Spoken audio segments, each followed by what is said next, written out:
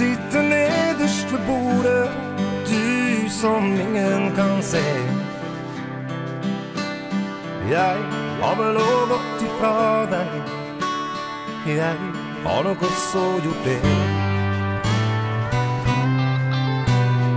Det var en visjon de hadde, og takk for alt som er gjort. Du skal ikke stå med lua i hånda. Skal ikke måtte komme til kort. For du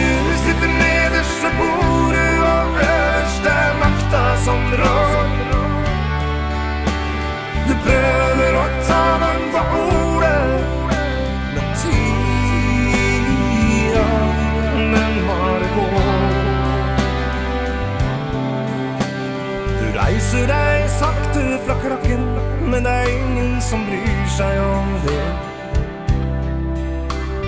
Det er ikke rare takken, men du ville at de skulle se. For du som satt nederst ved bordet, har gitt opp og krakken står tom. Nå er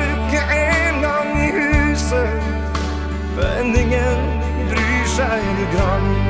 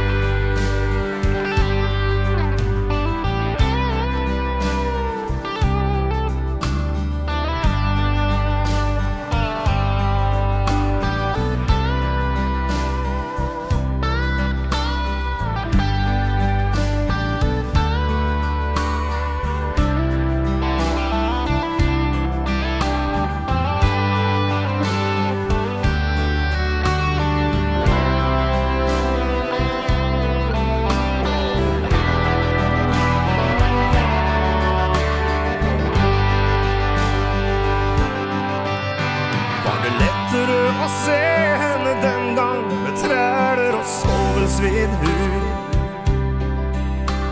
Nå har han årstikk i armen, små arr etter gårsdagens skudd. For da hun gikk ut gjennom døra, var det for seint, da var hun til å snu. Den blei for tung, denne børa. Vi skulle hjelpa ho, jeg og du.